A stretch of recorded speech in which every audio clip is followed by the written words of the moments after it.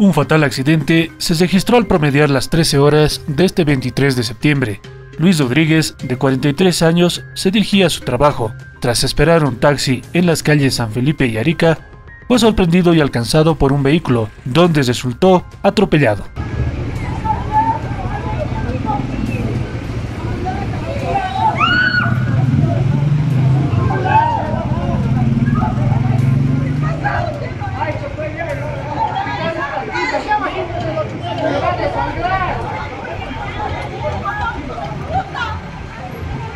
Se llama Luis Osvaldo Rodríguez Reyes.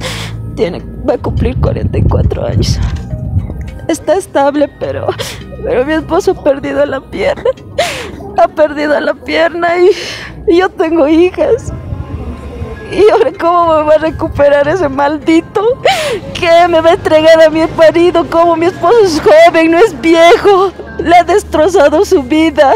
¿Qué le voy a decir cuando despierte? ¿Qué le voy a decir? Porque mi esposo ha salido con dos piernas y ahora va a regresar a mi casa con una pierna. Mi hija le ha visto así porque yo vivo ahí en la esquina y mi esposo ha salido a trabajar.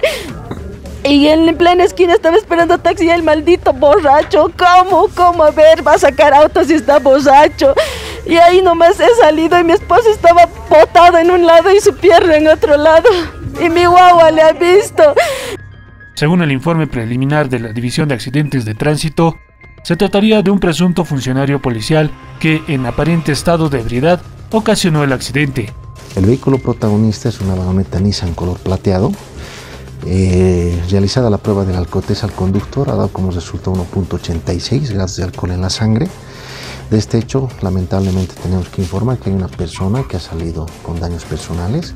Eh, preliminarmente sí tenemos la información de que es un servidor público, eh, funcionario policial.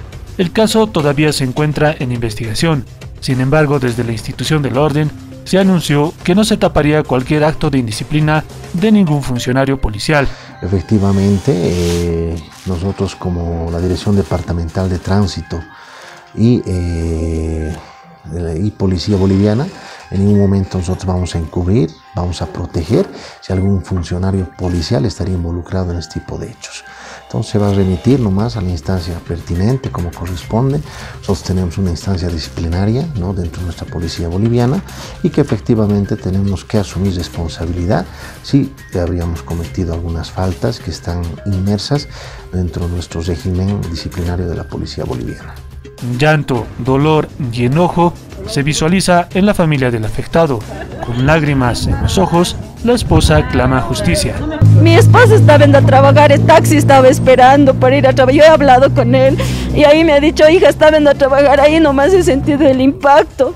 Estaba botado en una esquina y su pie en otra estaba. Lo ha botado ahí. Y todos mis vecinos han sido conscientes. Hasta el marica se quería escapar. Todavía debería ser hombre y dar la cara. Se ha ido, se estaba escapando. Si no le agarraban, se va a ir. ¿Y qué hubiera sido después de mi esposo? Realmente yo no sé. He visto perder harta sangre. Ahora es el segundo que estamos buscando sangre. Ya le han hecho transfusión. Otra perdió harta sangre a mi marido pero también denunciaron que familiares del presunto policía querían llegar a un acuerdo, motivo por el cual los familiares del afectado denunciarán a las autoridades judiciales ya que este hecho no puede quedar en la impunidad. ¿Con qué moral él eh, infracciona, eh, detiene a un, a, un, delincuente o a un infractor si él comete los mismos errores? Entonces, aquí estamos llegando. Ahora viene la familia, esto no es una carnicería. Aquí estamos queriendo comprar cuánto vale una pierna, cuánto vale un brazo. A mi hermano le han dado de por vida. Él tiene familia. Él estaba, él, a trabajar, no estaba a tomar, él no es borracho, nada.